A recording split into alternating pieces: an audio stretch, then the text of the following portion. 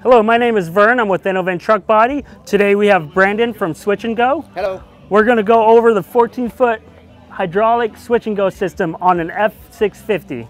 Brandon? Okay, so what we've got here, we've got an 18,000 pound hydraulic winch, um, 22,000 pound hoist dumping capacity.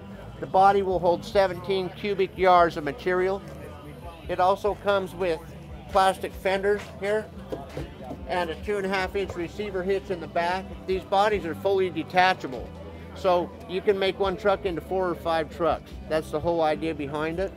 And uh, Vern? If you guys have any questions about the Switch-N-Go system or dump body or crane body or landscape body or anything else regarding trucks, you guys can visit our website at www.enoven.com.